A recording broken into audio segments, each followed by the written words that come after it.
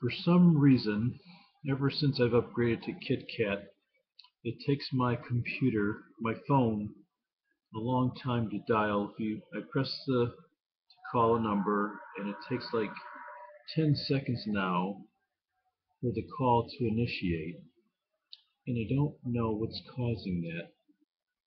So maybe so, there it finally initiates. What takes it so long to do that?